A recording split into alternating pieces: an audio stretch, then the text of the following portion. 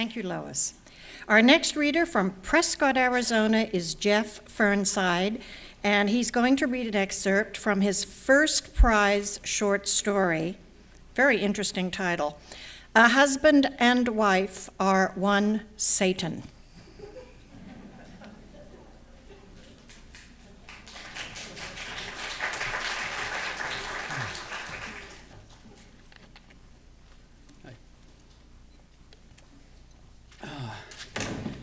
Did Mary go?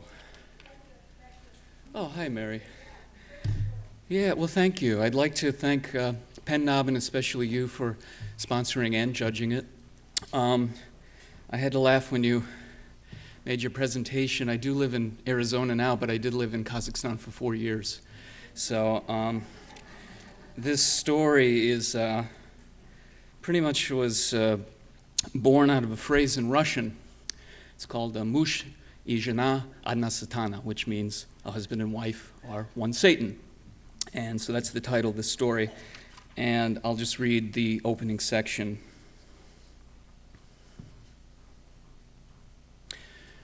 Neither of them could remember exactly when their arguments began bringing more business to their cafe. A certain amount of public obnoxiousness could always be expected in Kazakhstan, especially when vodka was involved. But normally, the deeply personal affairs of a husband and wife were kept secret behind the locked doors of crumbling Soviet era apartments or closed gates of tiny village homes. That doesn't mean people were above prying into their neighbors' lives, especially in the villages. Raim and Raelia made it easy for them. It started out playfully. Mare, Raim would say, smacking his wife on her great round behind, which shivered like a horse's flank under her cotton skirt. Stallion, she would return, grabbing him by his fleshy hips and then pushing him away, laughing. The sparse few customers who came at first, mostly their friends and relatives, enjoyed this little theater. Then one day, Raim returned drunk from a trip to the bazaar to buy onions and Raelia soundly, uh, soundly scolded him for coming in on his eyebrows in front of the entire cafe. You're really under her heel, roared the big foundry boss, Kolya, and everybody laughed. Raim, normally good natured and too drunk to fight back anyway, grinned sheepishly.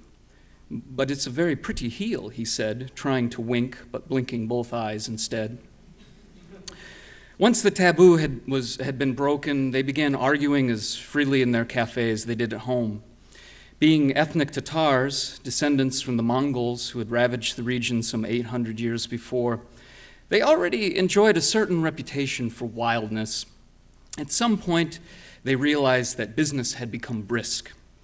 Just how much was due to their tasty home style cooking and how much to the entertainment was uncertain, but Raelia shrewdly observed that there were certain phrases that always pleased her diners, who even insisted that the thunderous pop music, normally a cafe's main attraction, be turned down in order to hear what the combatants were saying.